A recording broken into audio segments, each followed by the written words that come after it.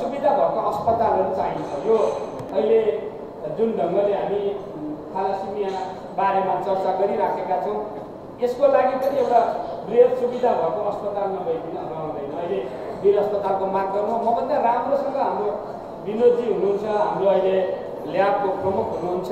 उहाँहरूले यी विषयहरूमा तपाईँहरूको बिचमा राम्रो राख्नुहुनेछ। सहयोग गर्नुपर्ने हातहरू चाहिँ अहिले पनि सक्रिय छन्।